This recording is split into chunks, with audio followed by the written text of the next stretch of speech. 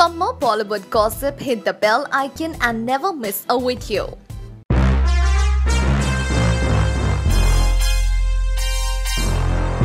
While the Sonu Nigam controversy has divided the industry and the commoners at large, there are some who are gradually coming to see and understand his point of view and having a change of mind. Yes, it's true. Some people have since changed sides. Instance Wajid Khan from the Sajid Wajid fame. Wajid was initially quite upset and annoyed at Sonu Nigam and didn't shy from expressing it on Twitter for the world to see. Well, now it seems that days later, he seems to have had a change of mind and accepted the drawbacks of his religion while realizing that Sonu's statements targeted at a civic responsibility rather than a religious issue.